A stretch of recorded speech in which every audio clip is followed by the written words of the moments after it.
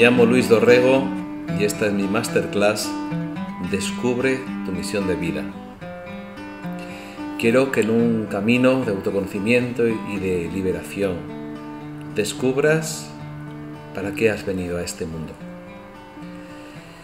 Este camino lo hice yo hace unos años, bastantes ya, y quiero que lo descubras tú, quiero que lo descubras por tú misma, por tú mismo. Quiero que entres a conocer cuáles son tus dones, para qué has venido a este mundo y que te liberes de toda tu insatisfacción. Yo acompaño a las personas para que se conozcan profundamente.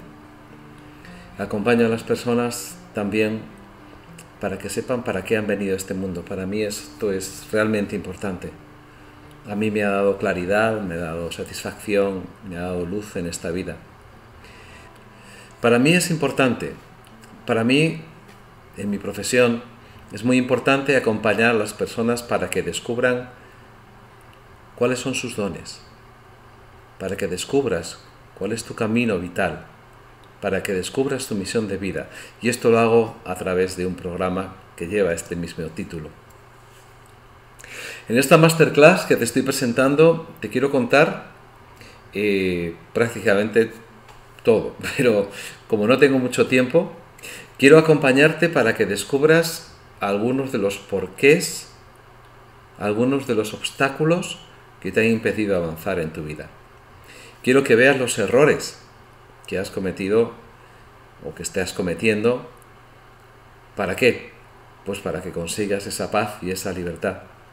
También te voy a contar de dónde vengo yo. Te voy a contar cuál ha sido mi camino. Y sobre todo te quiero contar y te quiero regalar dos trucos, dos recursos, dos ejercicios que te puedes llevar para ti, para casa, para siempre, para que puedas alcanzar este objetivo poco a poco, dentro de tu propio proceso. También eh, lo que quiero es orientarte. Quiero orientarte finalmente para que tú encuentres tu propio camino gracias a mi acompañamiento. En este momento de mi vida me siento muy contento, muy feliz, porque realmente quiero acompañarte a que descubras cuáles son estos cinco obstáculos que te han impedido avanzar. Que los descubras para poderlos superar. Y también estoy muy contento porque te puedo enseñar las cuatro cosas que generalmente hacen las personas y que fracasan. Y por último, quiero mostrarte mi método. Un sencillo método y probado ya que te puede ayudar a conseguir esa paz, que te puede ayudar a conseguir el sueño, tu sueño, el sueño de tu vida. Permíteme que te lea simplemente un comentario de una persona que, que hizo este trayecto. Escribe, me sentía muy desconectada y una amiga me habló de este taller de formación. No solo me he conectado conmigo misma, sino que estoy recuperando mi esencia, que en cierta manera había perdido. Y también estoy reconectando con los que tengo a mi alrededor. Recuperando mi esencia. ¿Te gustaría? ¿Te gustaría recuperar tu esencia? Realmente volver a ti mismo, a tu ser profundo, volver a ti misma, a tu ser interior. Comenzamos pues mirándonos profundamente, mirándonos poco a poco, cada vez más profundo, mirándonos dónde está nuestra autoestima, mirándonos dónde está nuestra confianza, nuestra seguridad. ¿A través de qué? A través de reconocer nuestras emociones, a través de construir sentimientos positivos. Fíjate, nuestras emociones, las emociones que generalmente campan por sus anchas en, en, nuestro cuerpo. ¿Te gustaría modular y regular tus emociones? Esto es lo que yo enseño. Enseño también a cómo construir pensamientos positivos. No solamente pensamientos, sino cómo dirigir tu mente para que tus sentimientos sean positivos. Eh, mi método incluyo la diferencia entre empatía, simpatía, muchas veces creemos que somos empáticos pero no lo somos, eh, hablamos de, y hablo de asertividad, lo que tiene que ver con nuestros derechos, cosas que no nos han enseñado en nuestra infancia, cosas que se les ha olvidado a nuestros padres con tanto amor que nos dieron, pero que gracias a los avances de la neurociencia hoy sabemos y hoy podemos enseñar a nuestros hijos también. Eh, me gusta mucho hablar de nuestras máscaras, de todo esto con lo que nos hemos defendido, todo esto que hemos ido construyendo como una armadura para defendernos de los demás, cuando realmente los demás son como nosotros que van con sus máscaras y sus armaduras. En mi método también incluyo lo que es la vocación, esto, este propósito de vida nuestro, ¿no? ¿Qué queremos hacer con nuestros dones? ¿Qué queremos hacer con nuestros talentos? ¿Qué queremos hacer con nuestras capacidades? ¿Qué queremos hacer con nuestras habilidades? ¿Realmente amo el trabajo que hago? ¿Trabajo donde yo amo?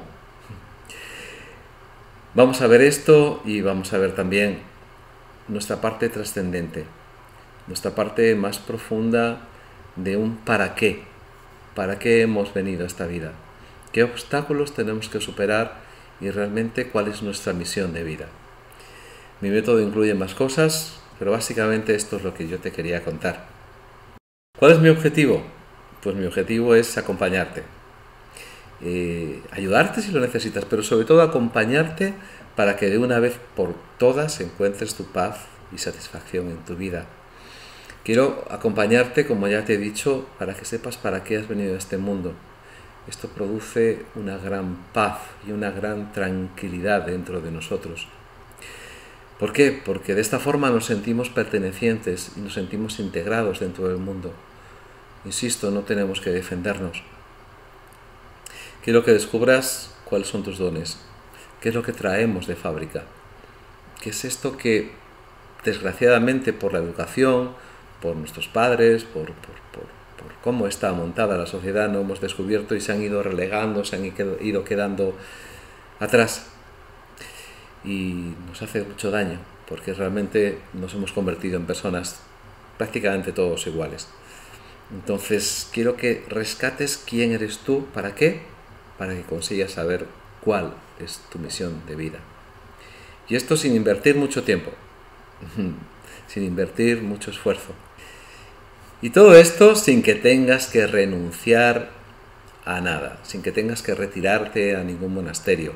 Simplemente invirtiendo un poco de tiempo, el tiempo que tú necesites para tu propio proceso y alcanzar tu objetivo. A mí me parece un reto importante, fascinante, un reto retador. ¿Qué te parece a ti? Bien, ahora te pido a pedir que juegues con la imaginación. En los juegos de imaginación todo está permitido. Y quiero que te imagines a ti mismo, a ti misma, dentro de unos meses. Cinco, seis meses. Cierra los ojos si quieres. Y imagínate qué te pasaría si por un segundo pudieras verte allí, dentro de esos seis meses, y tuvieras esto que vienes buscando. Si tuvieras esta paz y esta tranquilidad dentro de ti, ¿cómo sería tu vida? ¿Cómo cambiaría? ¿Qué estarías haciendo? También te pido más. Imagínate que tú pudieras elegir tu estado de ánimo básico cada día. ¿Cómo sería tu día a día? ¿Qué pasaría si tú pudieras cambiar tus creencias limitantes? Si pudieras expandirte si pudieras desarrollar tus capacidades y mucho más habilidades? ¿Qué pasaría si aumentaras tu autoestima, tu confianza, tu seguridad? Y sobre todo, ¿qué pasaría si supieras cuáles son tus dones y qué hacer con ellos? ¿Te imaginas esto? ¿Te imaginas a ti mismo, a ti misma viviendo de esta forma? Bien, para ello permíteme contarte mi experiencia. Para llegar a esos seis meses que te estoy proponiendo, yo pasé, bueno, unos años. Y como te puedes imaginar, mi método está comprimido, está sintetizado dentro de una experiencia y unos conocimientos adquiridos. Entonces, mira esa foto. Esa foto soy yo, cogiendo un disco de los de mi padre y mi madre, de mi familia, y poniéndome a cantar como cantaba mi padre.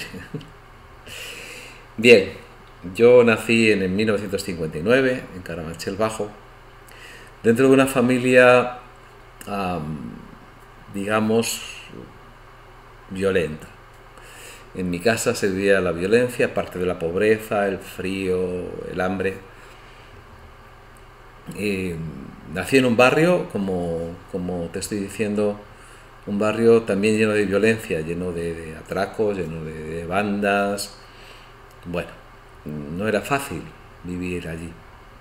Aparte de vivir allí, en ese barrio, pues dentro de mi casa, como ya te he dicho, tampoco era un ambiente muy respirable, pues yo jugaba con mis amigos como cualquier niño. Pero en el momento que mis vecinos, mis amiguitos, se fueron haciendo mayores, mis padres mm, no me dejaron ir con ellos. Me retuvieron en casa. Yo no pude, pues bueno, no teníamos bici, yo no, no aprendí a montar en bici, yo no aprendí a nadar, por ejemplo. Mis amigos montaban en bici, tenían sus bicis, iban a la piscina, a mí no me dejaban, no me dejaban ir más allá de la, de la vista de mi madre. Y bueno, me perdí, me perdí esos años.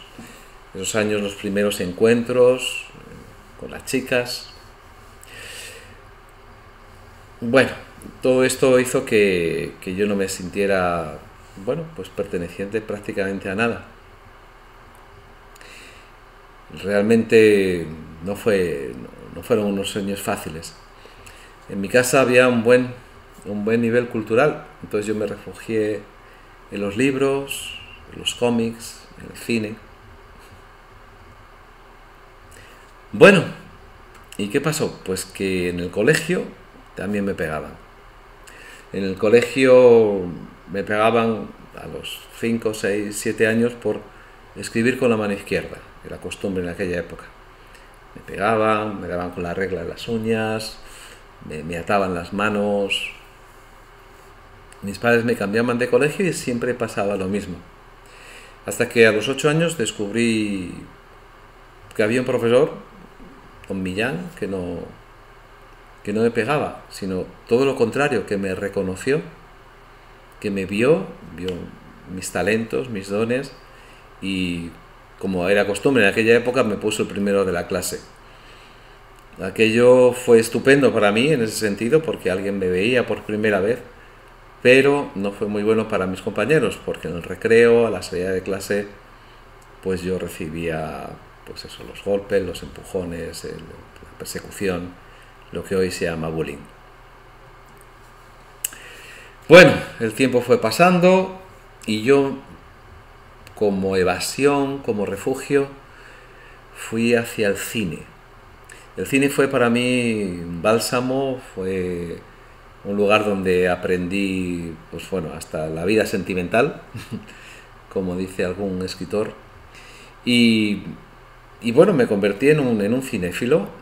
Ya a los 13, 14 años veía casi 400 películas al año, porque me escapaban, no iba a clase y y sisaba a mi madre dinero del, del, monedero y luego iba al, metro a pedir dinero y, con 10, 15 pesetas iba y veía una, una película una película o dos películas por ahí en un cine de barrio perdido de un tal Hitchcock o algo así que no sabía ni pronunciarlo y, yo luego escribía una ficha la, ficha técnica, la ficha artística, me sabía casi todo de memoria, lo tenía todo almacenado en mi mente. Por detrás escribí una crítica, coleccionaba los afiches, las críticas de los periódicos. Vamos, era, era un friki completo del cine. Y, bueno, pues en televisión había alguna película, una o dos por semana, y luego los fines de semana o me iba con mis amigos o, o me iba con, con mis padres, con mi familia a ver otras películas, ¿no? En sesión continua, programa doble, dos películas por poco dinero en cine de barrio. Bien, pues llegué al instituto. Llegué al instituto y allí como yo no sabía relacionarme, no tenía ese mundo del que te he hablado anteriormente, pues resultó que, que yo solamente sabía hablar de cine y sucedió una cosa muy, muy curiosa que hoy entiendo. Hoy entiendo que me quitaran mi nombre, me quitaron mi identidad, dejaron de llamarme Luis y empezaron a llamarme Fellini. Yo tenía un apodo, tenía un mote que era el de Fellini, el director de moda, un director de moda de esa época. Así que Fellini iba por el instituto haciendo cosas como montar un cineclub. Yo a los 14 años monté un cineclub en el instituto.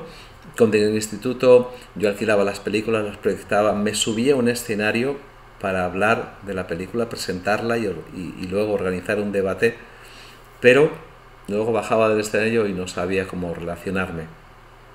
Aunque mi grupo de amigos tenía mi espacio, tenía mi, pequeña identidad, tenía mi pertenencia, luego no sabía hablar, no sabía relacionarme, no sabía cómo acercarme a una, chica de mi edad. Por circunstancias de la vida, pues el cineclub desapareció o lo, tomaron otras personas y alguien dijo, ¿por qué no hacemos teatro? Y yo dije, vale, vamos a hacer teatro. Y alguien me dijo, pues diriges tú una obra. Y yo dije, pues vale, dirijo yo una obra. Elegimos una obra, me subí al escenario, la dirigí, me subí, interpreté la obra y en aquel momento algo cambió en mi vida. En aquel momento me sentí libre. En aquel momento no era yo, pero podía ser yo al mismo tiempo. Yo creo que hice terapia haciendo teatro, una cosa así. Entonces, eh, empezamos a hacer teatro, éramos un grupo de, amigos, y empezamos a hacer teatro y aquello fue creciendo, ganábamos hasta dinero para pagarle al instituto lo que le debíamos. Bueno, fue como, como mi segundo trabajo de emprendedor. Mm, yo en aquel momento no me estaba dando cuenta de todo eso, ni de mis capacidades de, de liderazgo, pero ahí estaban. Algo estaba pasando y algo estaba haciendo. Ahí tenéis algunas fotos de, de jovencito, haciendo teatro, maquillado. Y al mismo tiempo, ¿qué sucedió? Pues al mismo tiempo sucedió que a los 14 años apareció mi verdadera vocación. Mi vocación era ser maestro. Aquel profesor yo creo que, influyó tantísimo en mí que, que yo dije, bueno, vamos a cambiar el mundo, porque yo era revolucionario con todos mis amigos, lógicamente. Entonces, si hay que cambiar el mundo, lo vamos a cambiar también. Pues ¿cómo? Pues haciendo magisterio, estudiando magisterio. La profesión también tendría que servir para cambiar el mundo. Entonces, yo convencí a mis amigos para que, para que hiciéramos magisterio y todos nos fuimos a magisterio.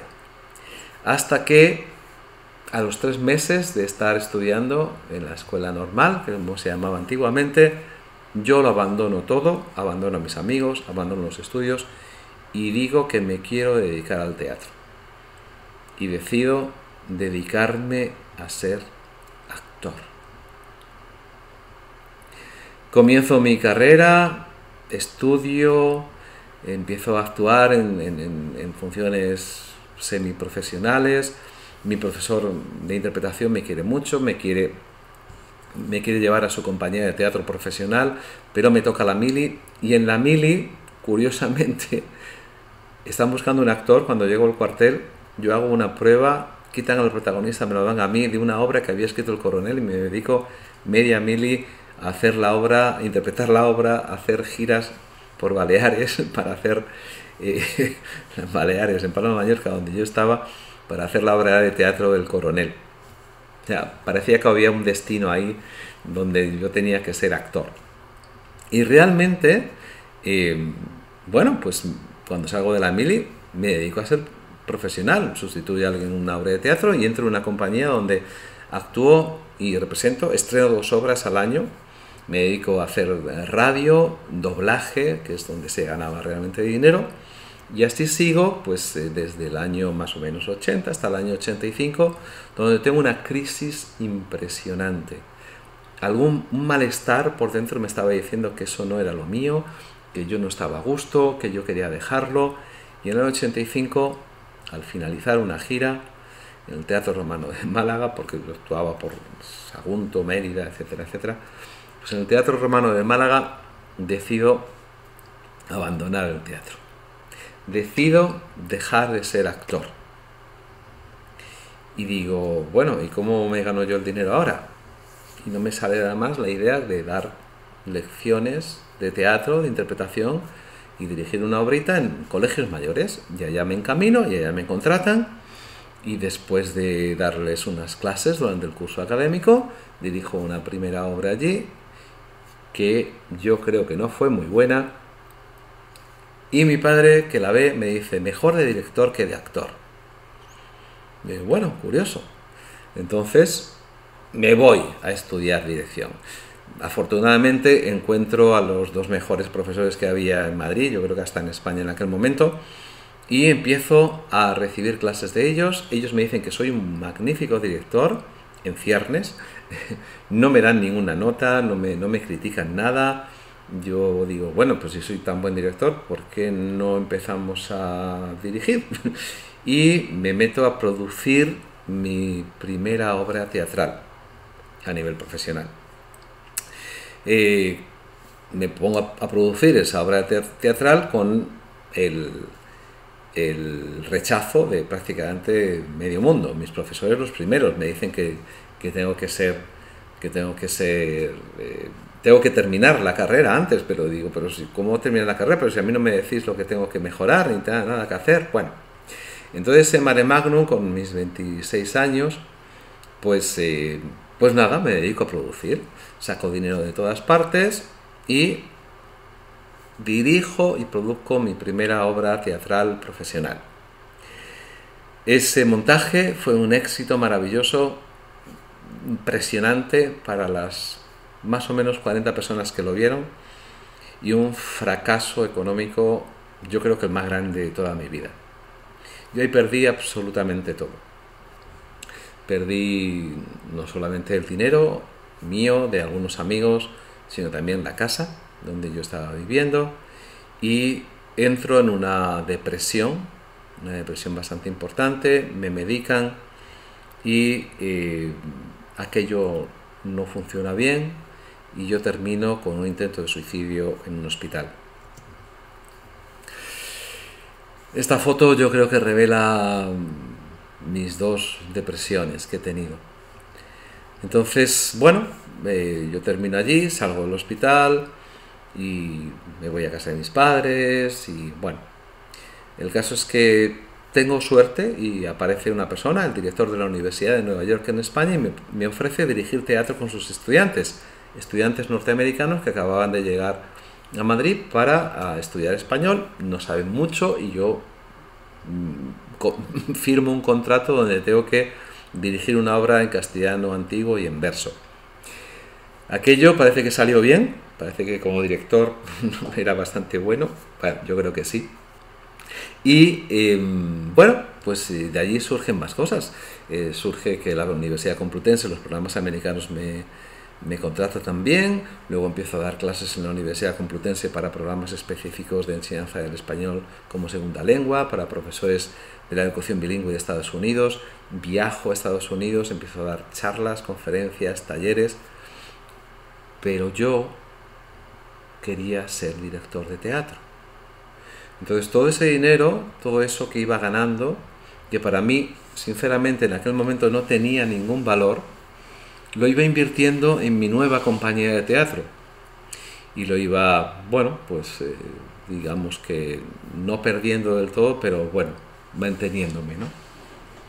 Entonces, con mi nueva compañía, yo soy director de teatro, mi nueva compañía, que cambia de nombre varias veces, voy creciendo, creciendo, creciendo, creciendo, y también voy creciendo como profesional de la enseñanza, pero, insisto, no, no le doy ningún, no le doy ningún valor. Entonces, imagínate, Imagínate qué es lo que está pasando por dentro mío.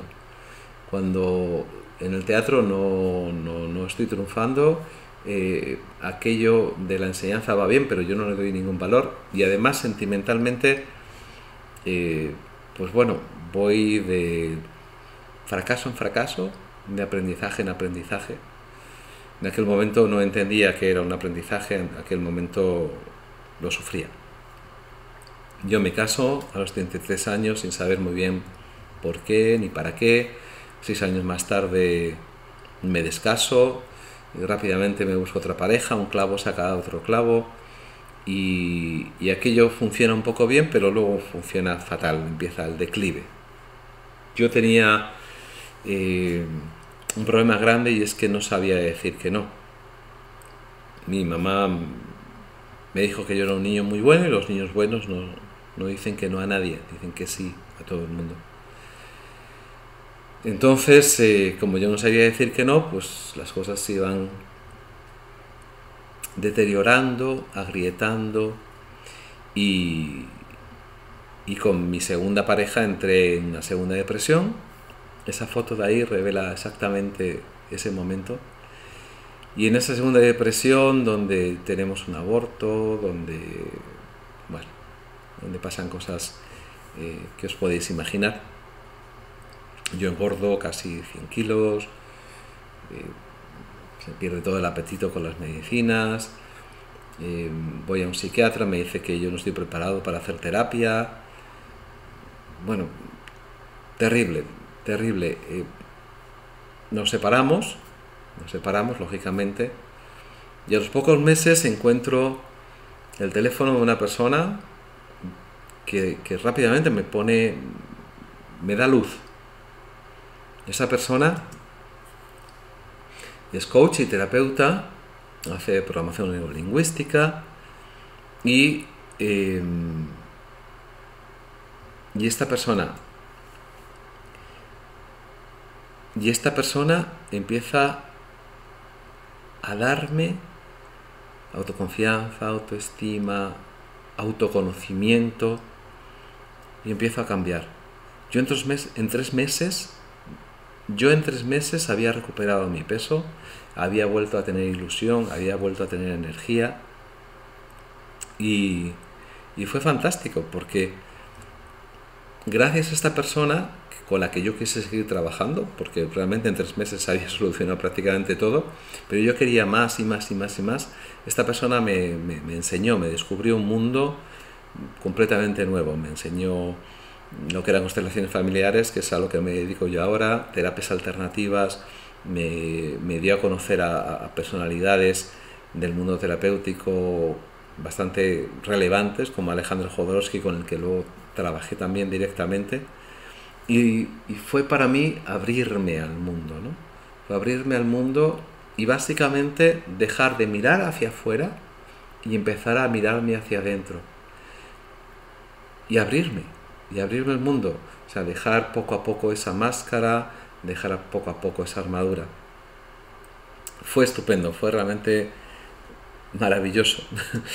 Entonces, eh, en ese proceso me di cuenta de una cosa muy importante me di cuenta de que yo había hecho teatro, me había subido a un escenario y luego había sido director 20 años, fijaos bien, desde, desde los 15 a los 45 años estuve haciendo teatro, 30 años, y me di cuenta de que realmente esto lo había hecho por y para mi padre. Mi padre no, no pudo ser cantante, no pudo ser cantante lírico, y yo dije, lo hago por ti, papá yo abandono mi vocación y me dedico a hacer lo que tú no pudiste hacer. ¿Para qué? Para que me veas, para que no sea un padre ausente, para recobrar eh, lo que es la relación entre un padre y un hijo que, nunca tuvimos. De alguna forma, gracias a, a la terapia que yo estaba haciendo, me di cuenta de que había sacrificado, de alguna forma, mi vocación y había empleado todos estos años de mi vida para hacer algo que no era lo mío, que no era algo con lo que yo venía al mundo, que no formaba parte de mi misión de vida, aunque hoy realmente no lo cambiaría por nada del mundo porque la mochila la tengo llena de un bagaje impresionante, maravilloso, y es el teatro, y, que me sirve para seguir hacia adelante. Entonces empieza la vida a cambiar. Eh, cuando dejo el teatro estoy triunfando en Nueva York de alguna forma. Estreno mis dos, mis dos últimas obras en Nueva York, la ciudad donde, donde, donde vivo también durante un tiempo, y En el año, ¿el qué? En el 2005 dejo el teatro y me quedo con las clases, me quedo con mis escritos, con mis libros que estoy publicando, pero aún así doy un paso más. Dejo la universidad. Dejo las universidades donde estoy trabajando para dedicarme a confeccionar mis propios cursos. Me voy a dedicar a hacer lo que a mí me gusta. Mi maestra, todo lo que estaba aprendiendo, me dio una energía, me dio una fuerza tremenda y conecté con realmente con quien yo era. Yo ya no era un profesor que quería repetir materias de otras personas, no, quería diseñarlo por mi cuenta. Y empecé a diseñar cursos para hablar en público, empecé a diseñar cursos para superar el miedo escénico, empecé a hacer coaching, estudiar, por supuesto, todas estas materias y hacer coaching individual. Empecé a trabajar para empresas haciendo desarrollo de habilidades y, a diseñar cursos muy novedosos como el de seducción, que, era encontrar el atractivo interior, conocerte a ti mismo realmente y eh, conoce a los demás sin máscaras, conoce a los demás desde tu atractivo, desde tu luz. Y bueno, la vida empezó a cambiar tanto que, que hoy me dedico a eso, hoy me dedico a eso. Hoy diseño cursos presenciales, online, eh, doy sesiones de coaching y, mi vida ha cambiado tanto que tengo hasta, hasta un hijo, ahora tiene nueve años, con el que voy al cine, voy al teatro, con el que me divierto, con mis amigos, con una nueva pareja. Y todo esto gracias a qué? Todo esto gracias a que descubrí cuál era mi misión de vida. Esto para mí fue revelador, fue como una iluminación, fue realmente una epifanía. Darme cuenta de que yo he venido a este mundo, que venía, que vengo a este mundo para dar amor que mi misión es dar amor. Pero no solamente dar amor, sino dar amor con un objetivo incluso, con un propósito más allá de la misión de vida, que es conseguir la libertad. Lo opuesto al miedo es el amor. Y el miedo que yo he vivido ha sido mucho y muy grande. Con lo cual, el amor estaba oculto de alguna forma. Cuando descubrí que el amor estaba debajo de todo ese miedo vivido, fue una eclosión. Y descubrir que la libertad es el objetivo final hizo que, mi lema, que, todo lo que está en mi página web, en mi WhatsApp, sea esta frase. Creo en un mundo donde el amor conduce a la libertad. Como ya te he dicho, me dedico al coaching y a la terapia. Las personas que suelen venir son personas que están insatisfechas con su vida. Son personas que necesitan y que quieren un cambio. Son personas que posiblemente estén pasando un momento grave, como por ejemplo alguna muerte importante, un despido, un divorcio. Pero realmente son personas que desean conocerse y cambiar por ellas mismas.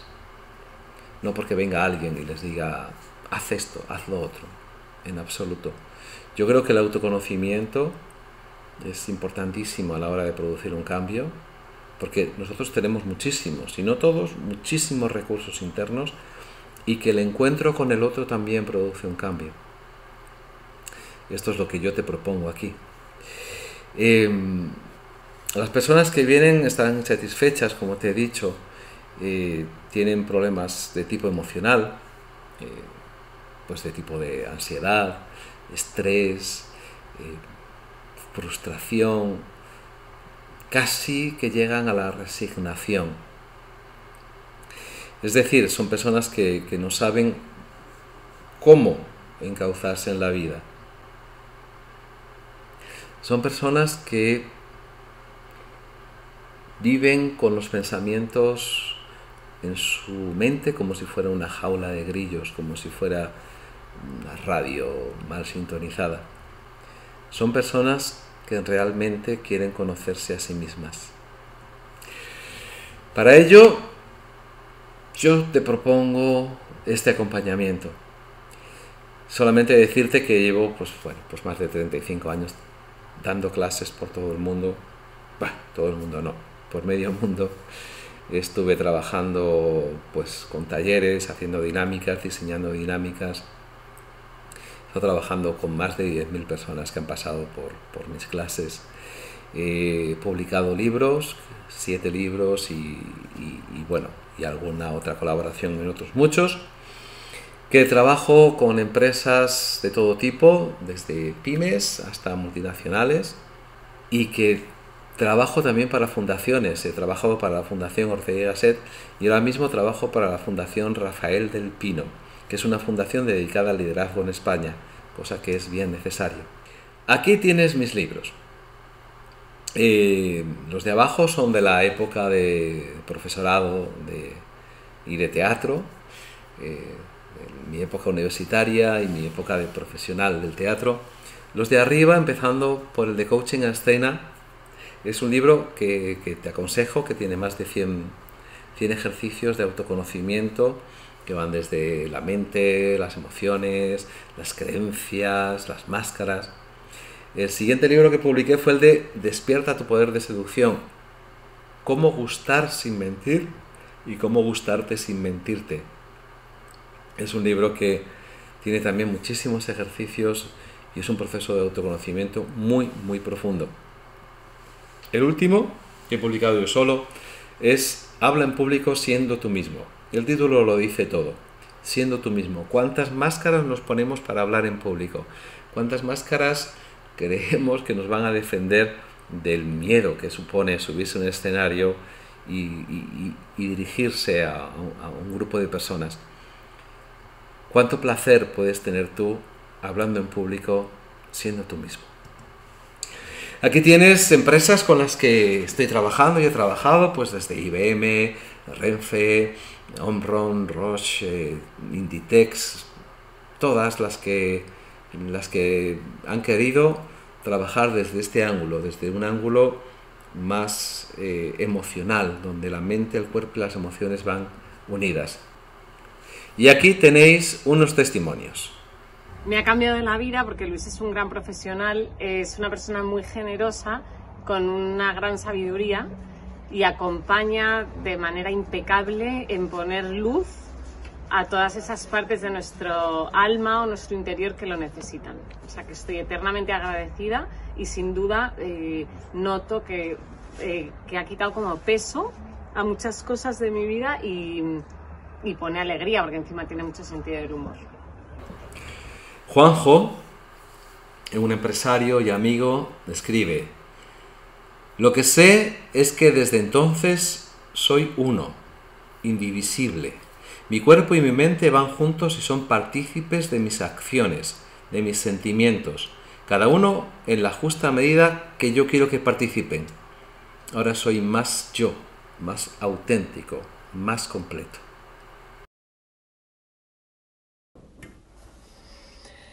Miedos, inseguridades, dudas, avances, retrocesos, frustraciones, alegría, euforia, tristeza totalmente estancada.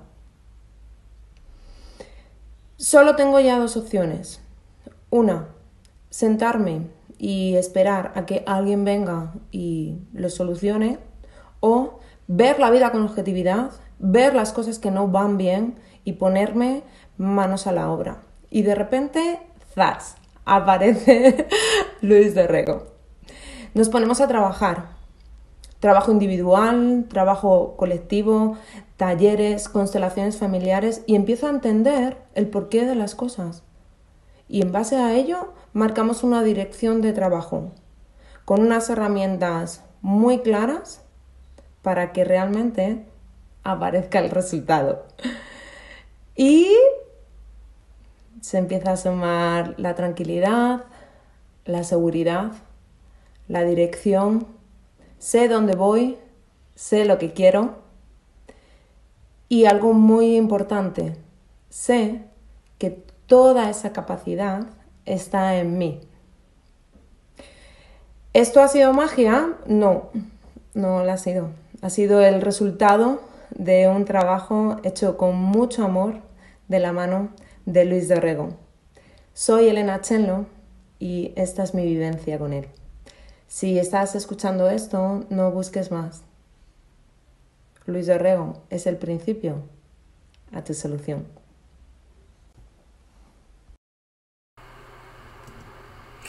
Jen escribe, Luis hizo conmigo lo que nadie podía. Rompió el cuento que tenía creado en mi cabeza de dolores, sufrimientos y problemas varios. Eh, yo fui a, ver a Luis a, su casa de manera individual eh, para tratarme de un tema de, bueno, pues lo que es mi comportamiento con la comida, mis enfados y demás. Eh, salí de allí como muy motivado, hice como, como cuatro sesiones seguidas con él solo y, y, de repente mi vida iba cambiando, mi, mi enfado con el mundo iba cambiando, eh, me sentía mucho mejor conmigo mismo y sí que empecé a ver la vida de una manera como muy diferente.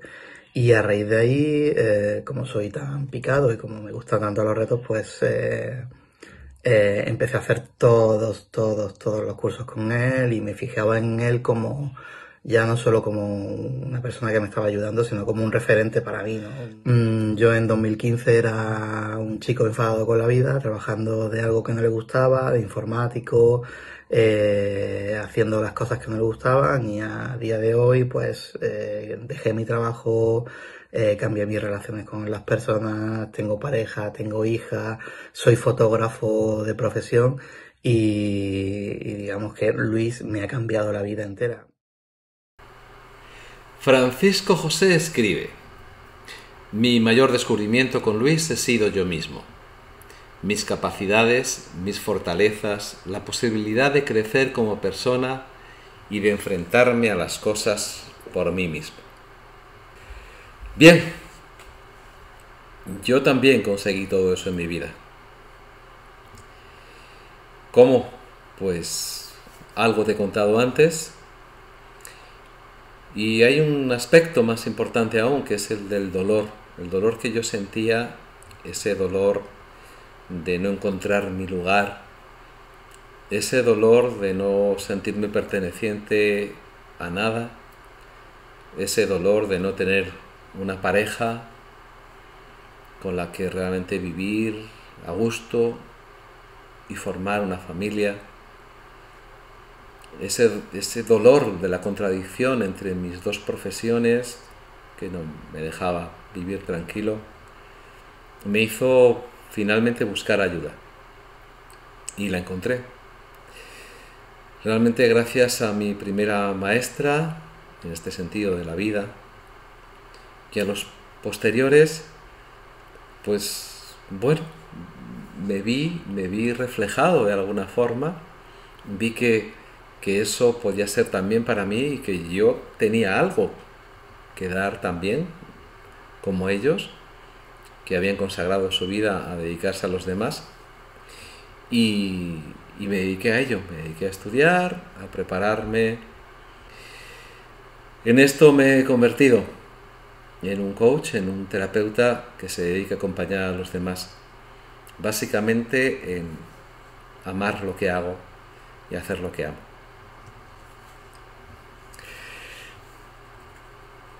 Ahora quiero contarte realmente algo que te puede ayudar. Y es a darte cuenta de qué errores cometemos por lo general. Muchas veces cuando queremos cambiar eh, leemos mucho sobre el tema. Hay multitud, no sé qué número exacto, de libros que aconsejan, libros de autoayuda, como los míos también. Y, y leer mucho sobre el tema pues nos ayuda a tener la cabeza muy llena de conocimiento. Pero realmente muchas veces lo dejamos ahí, en el conocimiento. Y el conocimiento no produce cambios. Conocimiento es simplemente datos. Pero un cambio interno solamente se produce cuando se lleva a la práctica, cuando se une mente, cuerpo y emoción.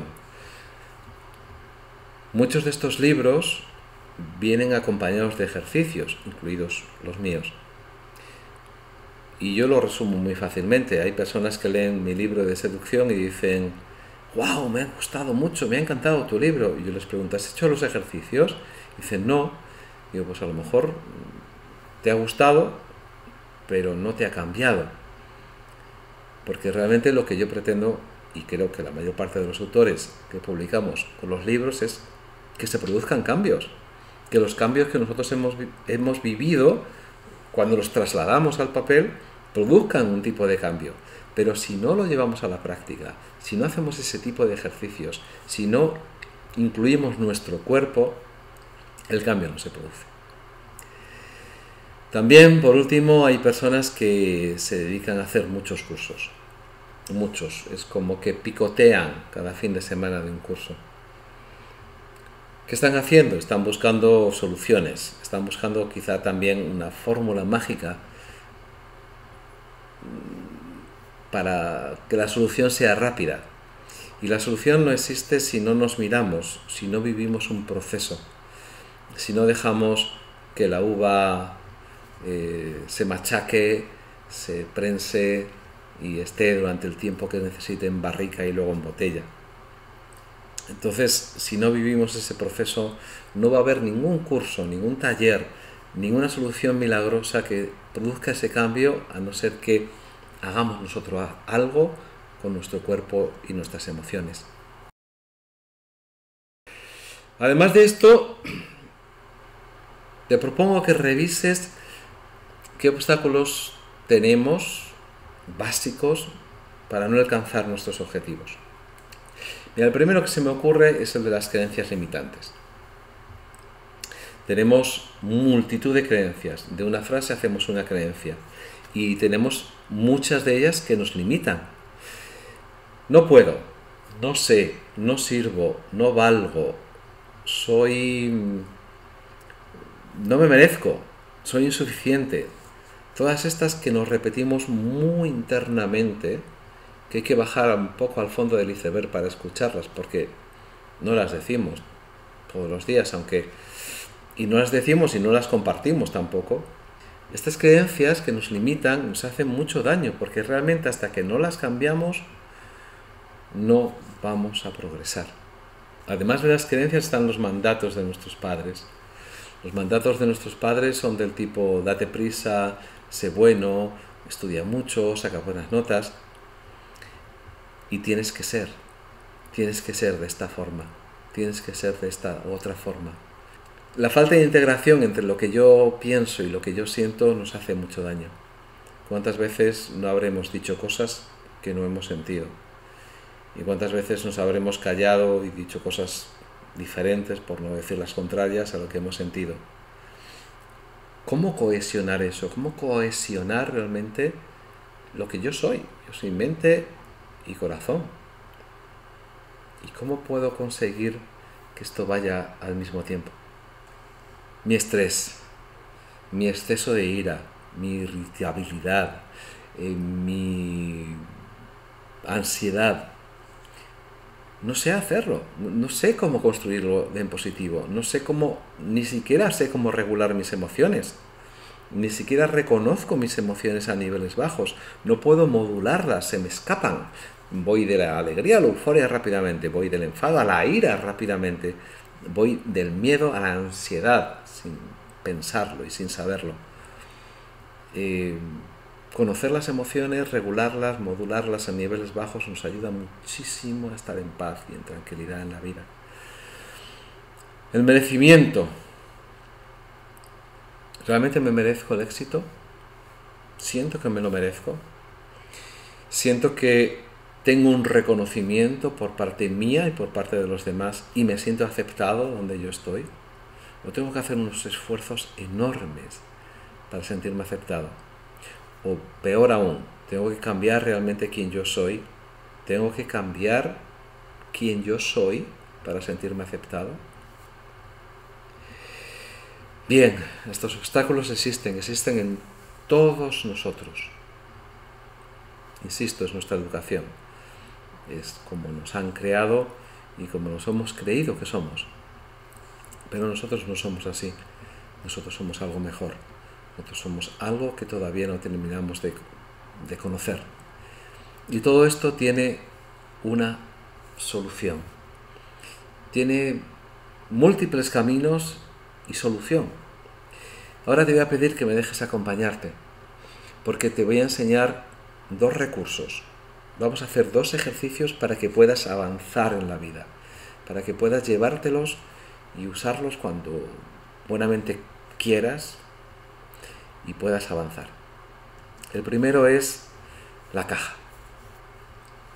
Es una visualización, una visualización guiada, es una especie de meditación, para que veas em, qué te mereces en la vida, para que puedas estar en conexión con lo que tú realmente mereces, para que puedas estar en conexión con quien tú eres realmente. Ahora te voy a pedir que en la silla ponga los dos pies en el suelo, separes las manos y comiences a respirar. Vamos a comenzar esta visualización guiada para que entres a un nivel más profundo de conciencia y puedas conectarte con tu ser interior y descubras algo que te pueda ayudar, algo que te va a servir para conectar contigo mismo y encontrar soluciones a tus conflictos.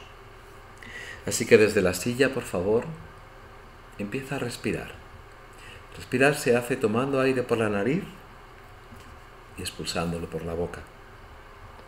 Así que por favor, respira profundamente, infla tu barriga cuando tomes aire, desínflala cuando expulses el aire lenta y profundamente. Y te voy a pedir que cuando suene la música, abras los ojos y empieces a moverte. Simplemente recuerda esto. Cuando suene la música, abre los ojos y comienza a moverte. Vamos a hacerlo desde lo más pequeño a lo más grande.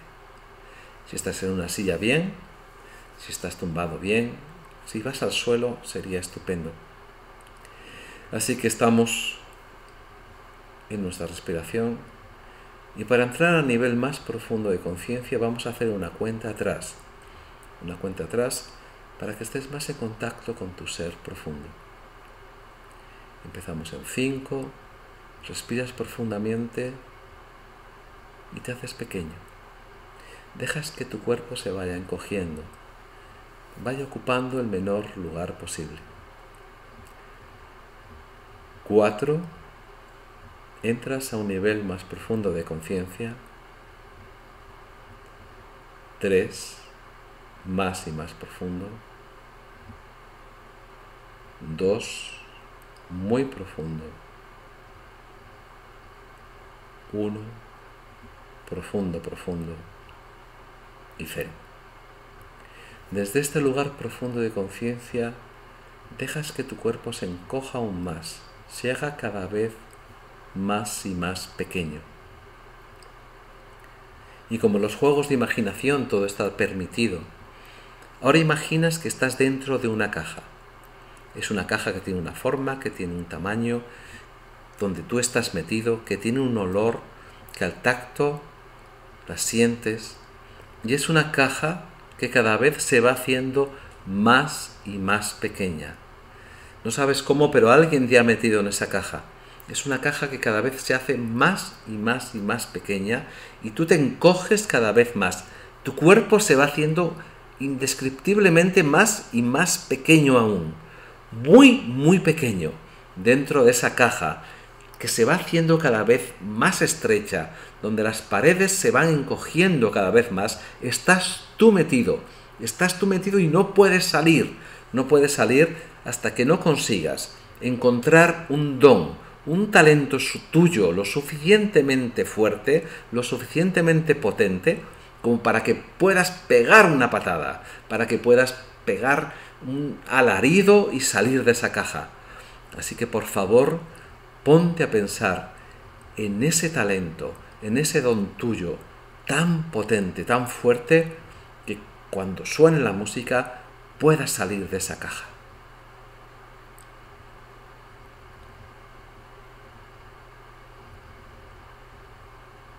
Ahora suena la música y por favor, hazte grande. Sal de esa caja. Hazte completamente grande. Amplía tu cuerpo. Vive tu cuerpo. Siente tu cuerpo cómo se levanta del suelo, cómo se levanta de la silla y quizás quiera hasta bailar esta música porque estás bailando el don, el talento, algo innato tuyo que te ha permitido salir de una caja donde alguien. Disfruta el momento de bailar este don tuyo. Disfruta de este momento vital.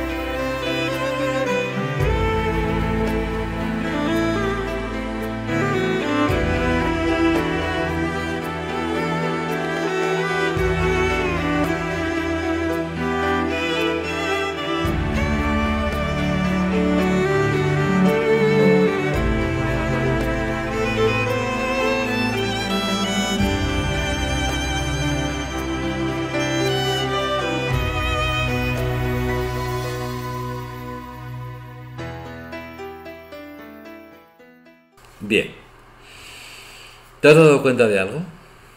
Puedes descansar, puedes volver, puedes relajarte. ¿Te has dado cuenta de algo?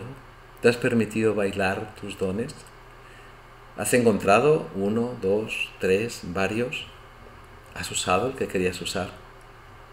Si no has encontrado ningún don, puedes volverlo a repetir todas las veces que te haga falta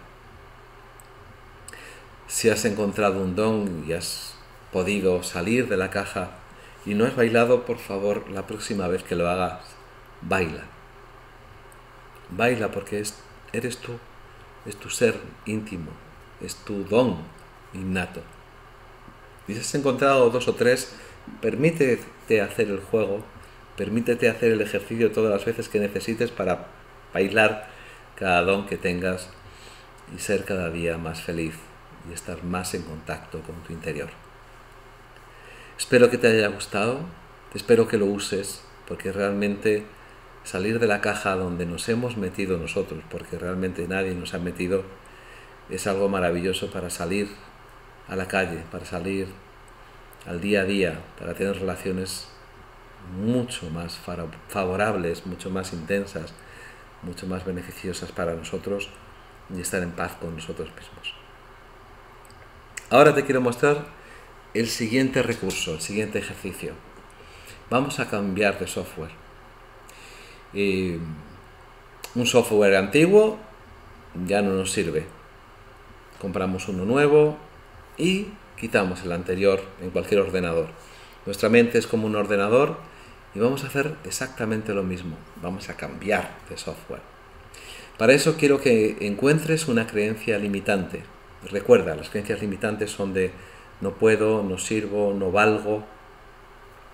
Encuentra una de esas creencias, escríbela en un papel y cuando la tengas, por favor, te voy a dar un momento o si quieres puedes parar ahora mismo esta grabación y buscarla.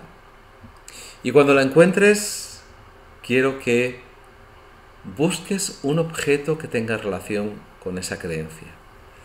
La creencia puede ser no me merezco el éxito en la vida, puede ser no valgo para tener pareja, puede ser no puedo encontrar o nunca voy a encontrar un trabajo que me satisfaga en general. Entonces cuando tengas la creencia, busca un objeto. Busca un objeto, un cajón, en tu bolso, aquí alrededor, en este cuarto, fuera, en tu casa. Busca un objeto que tenga relación con esa creencia limitante. Y ahora por favor te quiero pedir que cojas ese objeto en tus manos, le mires atentamente, te conectes con él y durante un minuto le des las gracias a la creencia por todo lo que te ha ayudado. Te puede parecer paradójico. Y sí, sí, sí lo es. Lo que sucede es que las creencias, igual que las experiencias, igual que los errores, igual que los fracasos, nos han servido. Nos han servido para algo. La mente necesita saber que eso ha servido, que eso nos ha ayudado. La mente inconsciente necesita saber que de algo negativo puede surgir y surge casi siempre algo positivo. Entonces te pido por favor que cojas ese objeto y durante un minuto, en silencio, en voz alta, le des las gracias por todo lo que te ha ayudado. Por todo lo que te ha ayudado, por todo lo que te ha protegido, por todo lo que te ha hecho conseguir. Quizá no tener un trabajo que me satisfaga me ha hecho conseguir una buena pareja. Quizás, al contrario, el no tener una pareja ha hecho que trabaje en lo que me guste. Quizá el no sentirme merecedor de algo ha permitido que me sienta merecedor de otra cosa. Así que por favor, dan las gracias a este objeto, dan las gracias a esta creencia limitante por todo lo que te ha ayudado, por todo lo que te ha servido en este tiempo en tu vida. Ahora que has terminado, quiero que cojas ese objeto y que lo coloques en el suelo y tú das un paso atrás, dejando el objeto delante tuyo. Dejando ese objeto delante, dejando esa creencia limitante delante tuya, vas a pensar en la creencia potenciadora, en la creencia positiva que viene a ser casi siempre la opuesta a la anterior. Búscala, por favor. No sirvo, sirvo. No valgo, valgo. No me merezco, me merezco no puedo, puedo. Y construye una frase suficientemente potente, yo puedo, yo valgo, yo me merezco, yo sirvo, y repítela, repítela en voz alta, repítela todas las veces que sean necesarias, de todas las formas posibles, hasta que la hagas tuya, hasta que tú sepas que en el 80% de tu cuerpo eso es verdad. Cuando eso esté integrado en ti, cuando esa creencia no sea simplemente algo mental, sino algo realmente instalado dentro de ti, quiero que des un paso hacia adelante, dejando la creencia limitante atrás, dejando el objeto atrás, y repitas en voz alta de nuevo, una última vez, me merezco, necesito, quiero, valgo, sirvo, soy.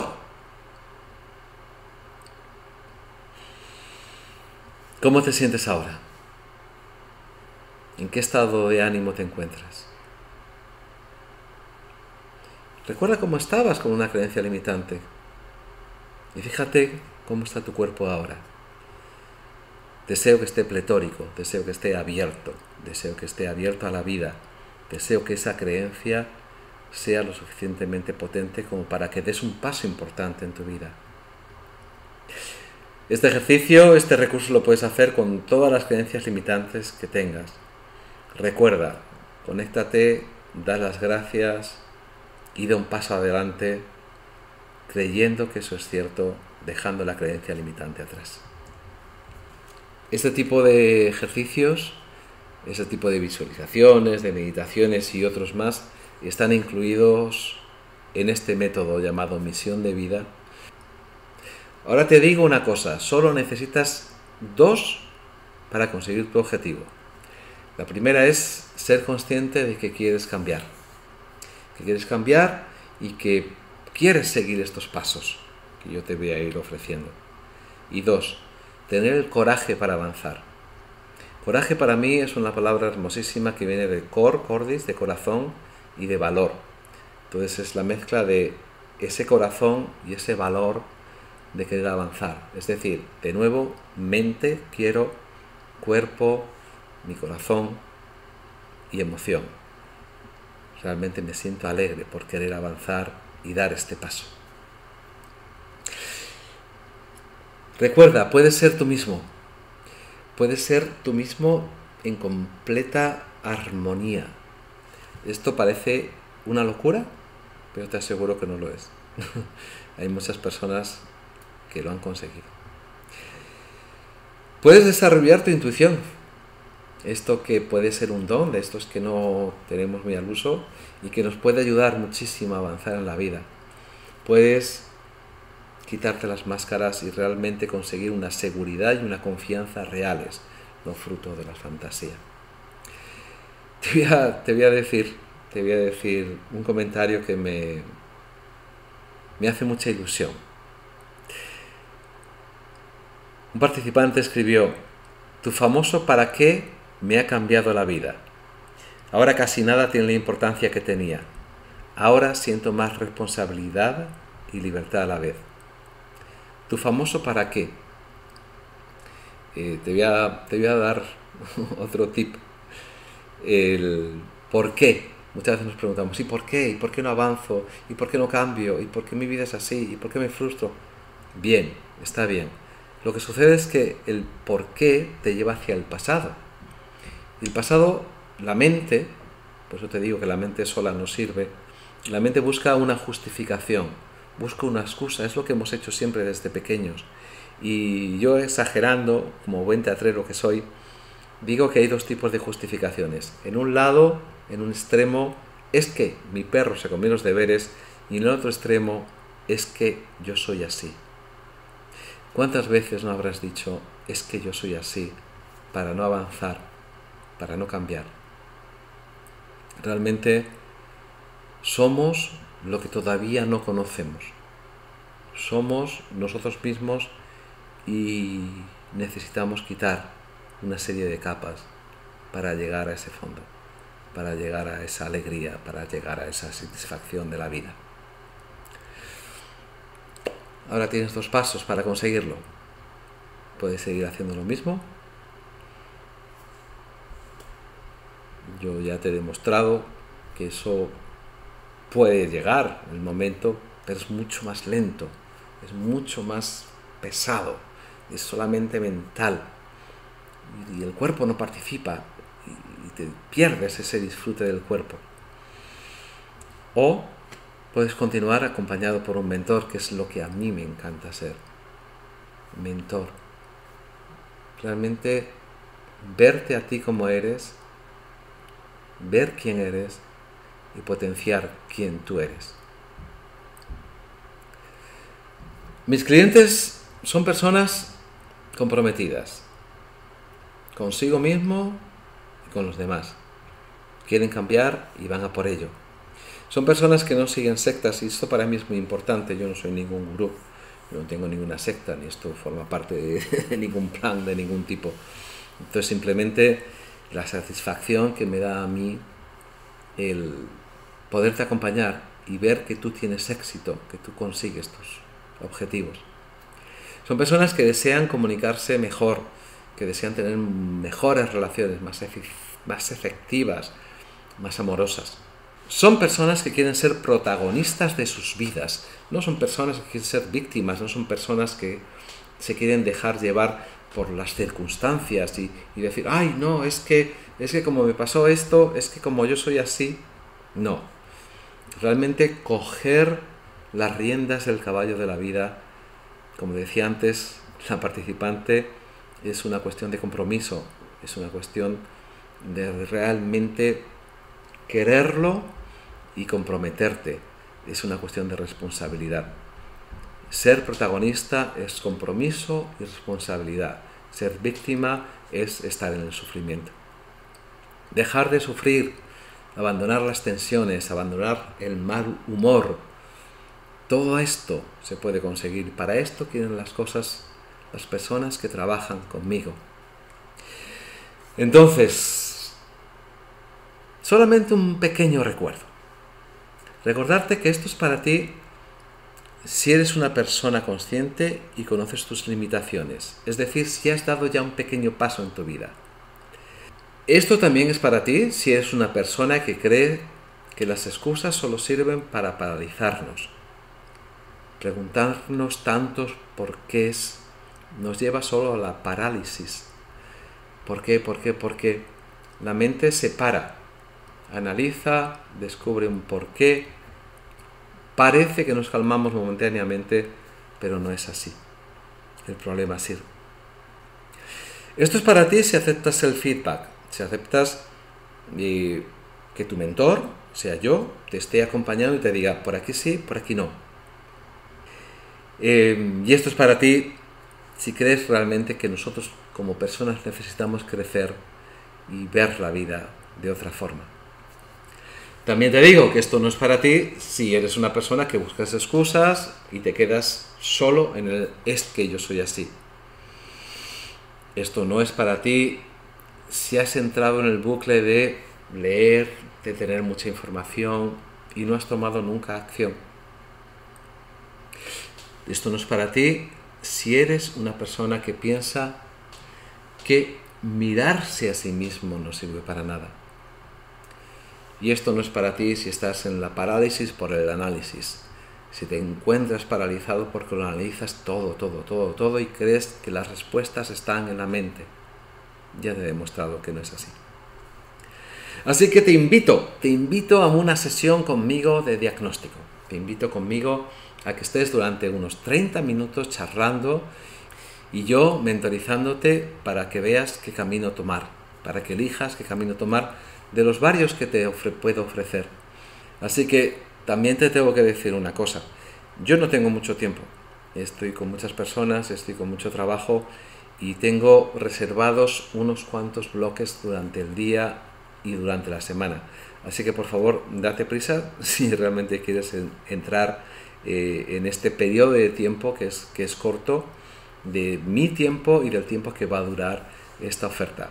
Así que por favor, primer paso, vete a mi web y agenda tu sesión.